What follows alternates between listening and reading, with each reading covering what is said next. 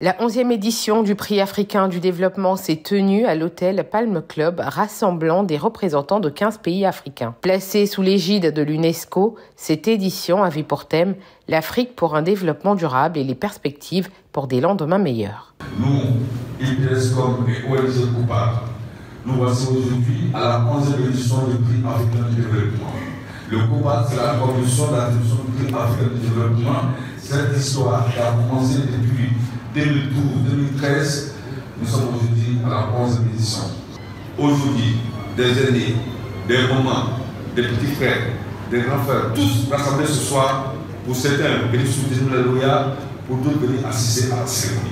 Et je pense que certainement nous devons tous prier pour que la Côte d'Ivoire continue sur cette lancée. Cet événement a vu la participation de plusieurs acteurs politiques, administratifs, culturels et du monde des médias, tous distingués pour leur contribution significative au développement du continent africain. C'est mieux d'être honoré à titre costume que de le faire à titre posthume. Voilà. Alors pour nous, la seule richesse de ce métier, c'est la reconnaissance des personnes que l'on sert. Et quand tu reçois ce genre de prix, effectivement, ça ne peut que te permettre d'être heureux pour le métier que tu fais, pour le plaisir que tu donnes et aussi pour, euh, je veux dire, la motivation que tu donnes aux jeunes de pouvoir essayer de faire comme ce que vous avez ou nos prédécesseurs ont fait. Oui, la situation de discernement de, prix d'excellence au palais présidentiel en, en, 2017 le président de la lui-même.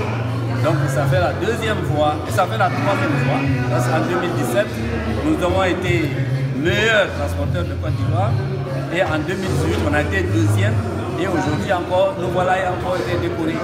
Vraiment, nous sommes très satisfaits. C'est toujours un plaisir de, recevoir un nouveau prix, euh, euh, quand on a déjà reçu d'autres prix euh, à un certain niveau, surtout au plan national, parce qu'il faut le rappeler, je suis meilleur journaliste télé 2022 à Ebony.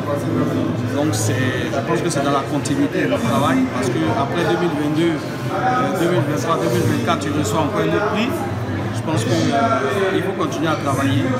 Le prix inspire et euh, ça montre qu'il y a beaucoup de personnes qui te suivent et que tu es un exemple et que euh, tu as aussi un porte-étendard parce que j'ai vu Eric Koubadi cette info, une nouvelle chaîne et on réussit à gagner des prix. Je pense qu'on a de l'avenir et c'est ce qu'il faut retenir. Organisé par l'ONG COPAD, le prix africain du développement vise à promouvoir une Afrique émergente centrée sur un développement inclusif et durable.